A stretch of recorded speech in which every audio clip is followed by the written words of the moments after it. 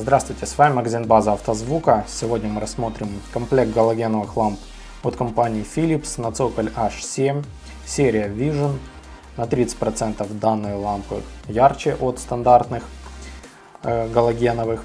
Артикул данного комплекта 12972 PRC2. Поставляется комплект в фирменной упаковке. Давайте рассмотрим комплектацию. Внутри у нас две галогеновые лампы.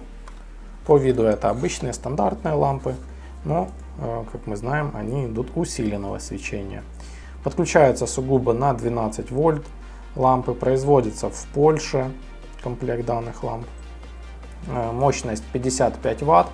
Подключаются они сугубо на 12 вольт.